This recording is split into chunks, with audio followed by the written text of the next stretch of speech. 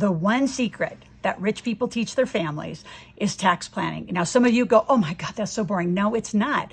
Like USA Today is known for having, you know, right around April 15th, oh, it's so scary and it's grueling. Let somebody else do your taxes. No, people, there's 81,000 pages of tax code. 81,000. That means you can deduct darn near everything legally. So your company's going to make money and your company can own your phone. It can own your computer. It can own this little light that I'm behind. It can own your office. It can own your cars.